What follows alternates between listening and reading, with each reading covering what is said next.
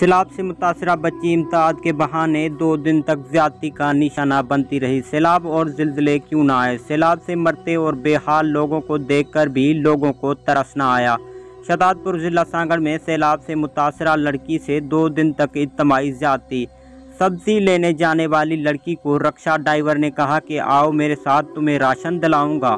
मुतासरा लड़की ने बताया कि मुझे राशन दिलवाने के बहाने रक्षे वाले ले गया। वहाँ जाकर नशा और चीज़ पिलाकर दो दिन तक ज्यादती की गई। इनका नाम लड़की ने खालिद और गुल शेर बताया कि वो ज़ात के माची हैं। शाम में सब्ज़ी लेने गई थी। मेरे को रक्षे वाला बोला था कि चल इधर राशन भी रहा मैं तुझे